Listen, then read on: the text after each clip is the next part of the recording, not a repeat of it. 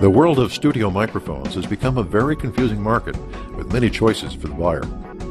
In addition to the traditional suppliers, several Chinese products have flooded the market in recent years, confusing consumers with exaggerated claims of performance and limited data to support their sales brochures.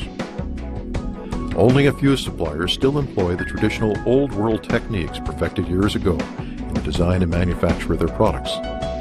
Violet Design in Latvia is one of those companies.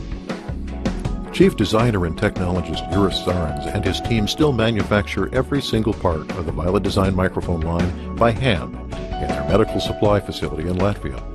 Zarins' background as a professional jeweler has also been an asset in creating unique visual designs. The heart of a condenser microphone is the transducer or capsule, and every Violet Design microphone utilizes Violet's own original unique handmade brass body capsules. Each capsule's diaphragm is carefully tensioned, adjusted, and tuned to deliver excellent transient response and high SPL handling capability.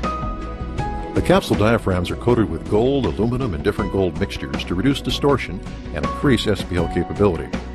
Several sputtering patterns are used depending on the capsule irregular thickness, segmented, layered, and combinations, all designed to reduce circular resonance distortion and increase SPL.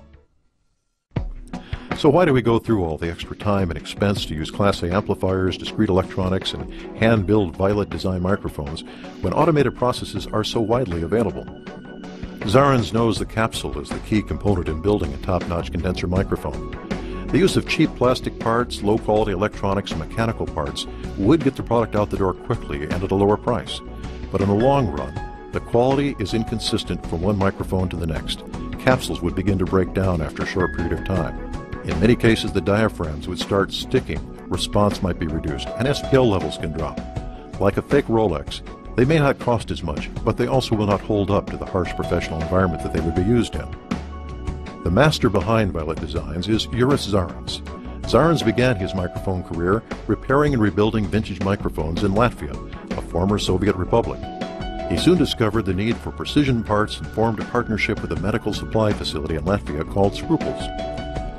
Before long, Zarins began developing his own unique capsule designs, and word got out that they were something special.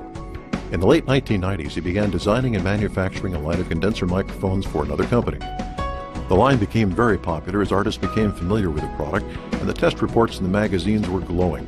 This continued for several years until a dispute ended that relationship.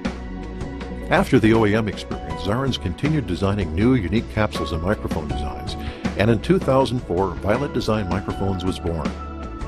In Violet Design, Zarins has expanded his capsule offerings to include several new medium and small diaphragm designs, as well as an additional large diaphragm design and a very unique ear-shaped capsule used in the Flamingo ME.